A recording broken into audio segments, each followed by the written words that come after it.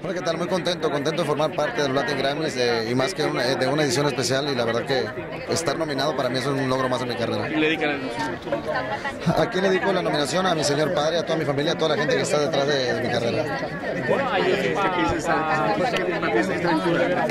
¿Qué significa? Es una aventura muy, es muy, muy importante, algo que va a marcar siempre mi carrera, de lo cual siempre me voy a acordar y el encontrarme con grandes co- compañeros, colegas de la música para mí es un sueño hecho realidad.